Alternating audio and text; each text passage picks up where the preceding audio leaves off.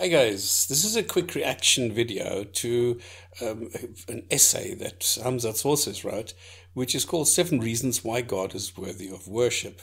Also, I have an essay on my website called Seven Reasons Why Allah is Worthy of Worship.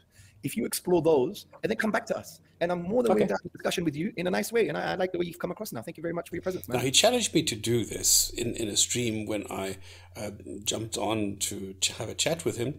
And I could have done this online while we were there, and he would have got off a lot more lightly. Now I've had time to do this.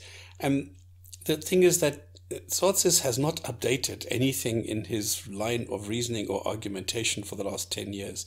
He's still using the same old stuff that he takes from the Christians, throws in a couple of Arabic words, and then that's it. Now, the funny thing is that he uses arguments, things, claims that and, and this is the definition of a lie, he knows are wrong and he uses to deceive or mislead other people. Now, I've shown a lot of times that this is not an honest person. Now, I've tried a lot of times to tell him, listen, there's only one thing I want, and that is for people to stop lying. Now, if I go and I see what he does, he uses the old arguments and then all he's done is add things like existential, transcendental, cognitive obscurity of the incoherent or empirically untestable and dissonant pretentiousness of supercilious commentary on the eponymous ideology, things like that. What have I just said? Nothing. I've just waffled. This is just word salad. And this is what Hamza Tzortzis does for 15 minutes. I watched it in his last stream. Uh, the same thing happens when, when he goes into the seven reasons why God is worthy of worship. He does not bring a lot to the table. He just presupposes that there's a God and that this God needs to be worshipped. I do not know why. He says that the purpose of our lives is to worship Him and quotes a sentence in the Quran. But the Quran does not specify what worship is. And Hamza Tzortzis does not define it either. So then I did it, and you're welcome to to go through my blog where I did this. I'll, I'll put the description, um, uh, the the link into the description box, and then you can see it there for yourself. Because to worship is to be devoted and full of admiration for, to have you know express feelings of adoration, and then hang on, that is exactly what they are saying about Muhammad. So the funny thing is, and this is something that I, found quite uncanny when I joined the script, that this is exactly what they were saying, and I pointed this out, that this is exactly what they're using to describe Muhammad. They didn't like that, but they couldn't really say anything. So anyway, if I say there, there is a reason to worship a God, then I need to provide some sort of reasoning why this is something that we should be doing.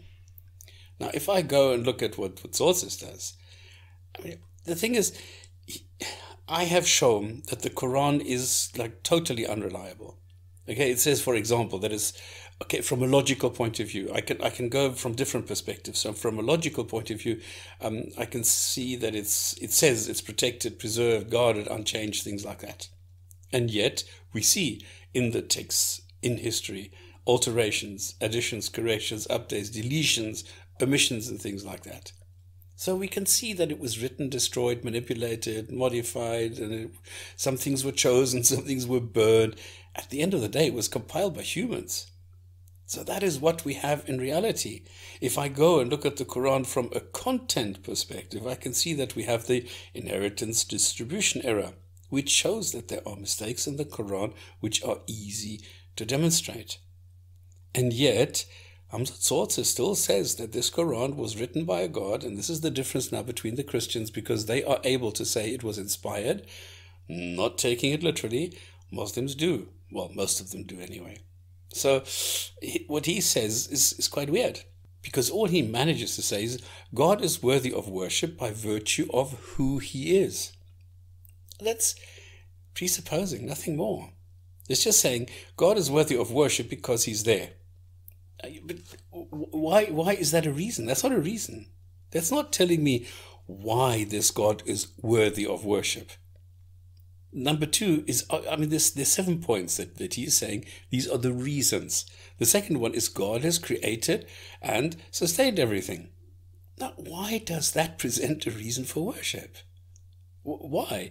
If, if God creates earthquakes uh, and, and, and uh, I don't know, a, a piece of land that I can use for agriculture, I'm the one cultivating it and then it gets destroyed by an earthquake. Why should I worship this God? There's no reason to do that.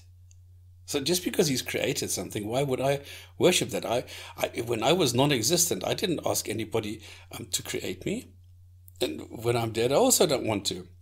And yet Muslims are telling me that I'm going to go to this place where I can only do two things, and, and that is to have sex with virgins and drink wine. I don't like either of those. Definitely not for eternity. So what does that have to do with anything? Why would I worship a God that is unjust, that is pernicious and cruel, and, and that does all sorts of things that I don't like? Then he says God provides us with immunerable favors. Why does that present a reason for worship? Why? What is the reason that I should worship somebody who does me a favor? And what kind of a favor is this? Is this that I am provided with um, just an unlimited amount of, of sex slaves? And this is a favor or what? Then he says, if we love ourselves, we must love God.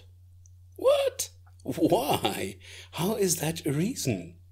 This is a silly claim. Then, number five, God is the loving, and his love is the purest form of love. Well, even if I just accept it, and so what? I don't understand that if his love is the purest form of love, why should I worship this God? I mean, he can love whoever he wants. But why should I worship this God? Because he is the purest form of love. That doesn't follow, does it? Then number six on the Hamza Tzortzis list is worship is part of who we are. Now that's a false statement. It's, it's bar of any evidence, just a silly claim. I, worship is not part of who I am, and it's not part of anyone. Muslims are indoctrinated and brainwashed into believing that, you know, praying and fasting and donating and running around a black stone and things like that, those are things of worship, and this is something that they need to do. I don't. So uh, it's not me. I don't quite understand why he is so obsessed with this and doesn't understand that he is making false claims. Then, number seven, obeying God is the most rational thing to do. Oh my God, no, it's not. I mean, the, the Islamic God figure, and I made a short list, is vicious, violent, divisive, misogynistic, judgmental, brutal, narcissistic, incompetent, and thankfully non existent. Because it is not the most rational thing to have a God in your life. It is not the most rational thing to obey a God. And obeying a God is not worshipping this God. If I obey the prison guards, I am not worshipping them. So there's a lot wrong with this. Now, the funny thing is that that Tzortzis now, like he rambles on and on and on and on. Now, because now he explains each one of these seven items that I don't think require any kind of explanation. But he goes on for 10, 15 pages, I don't know for how long. And it's just a collection of emotions and unsubstantiated claims. And that is the level of this entire article or essay or whatever you want to call it. It's just useless apologetics. So, I'm sorry, this entire endeavor is a failure and not worth following up on. Just the usual tired and desperate attempt at justifying a silly belief. And that is the end of this short comment. Thank you very much for your time. See you in the next video about whatever. Cheers and bye bye for now.